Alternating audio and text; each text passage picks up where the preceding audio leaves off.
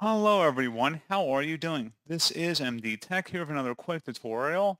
In today's tutorial, I'm going to show you guys how to hopefully resolve the network error code 0x800704B3. The network path was either typed incorrectly, does not exist, or the network provider is not currently available. Please try retyping the path or contact your network administrator. So this should hopefully be a pretty straightforward process here guys on how to resolve it. And without further ado, let's go ahead and jump straight into it. First thing I recommend doing would be to open up the search menu, type in troubleshoot. Best result, check it back with troubleshoot settings. Go ahead and open that up. And now on the right side underneath options, you want to select other troubleshooters. And then underneath most frequent, select the network and internet troubleshooter and the corresponding run button. And then follow along with the on-screen prompts here about going ahead and actually suggesting how to resolve the problem. So again, if you're not connected, it should start walking through different troubleshooting diagnostic utilities within this window here. So again, that'd be the first thing I recommend doing.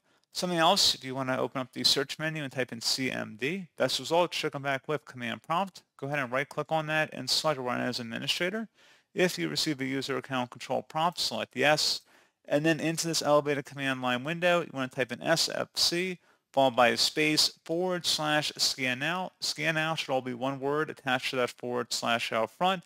Hit enter on your keyboard to begin the system scan. This will take a couple minutes to run, so please be patient.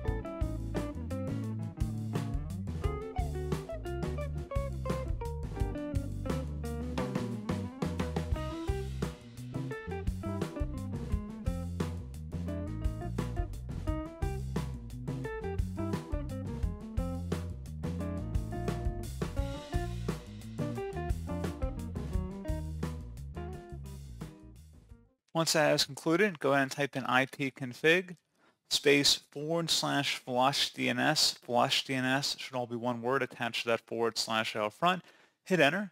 Should come back a Windows IP configuration successfully flushed the DNS resolver cache.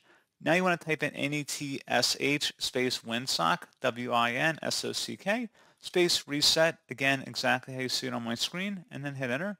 Should come back with successfully reset the WinSock catalog. You must restart the computer in order to complete the reset. Close out of here and then restart your computer.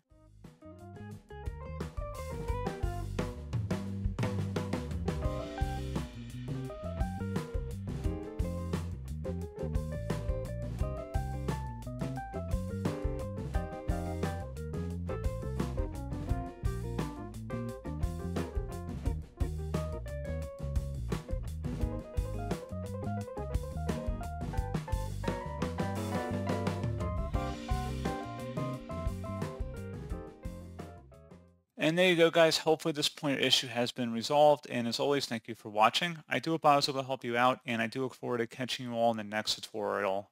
Goodbye.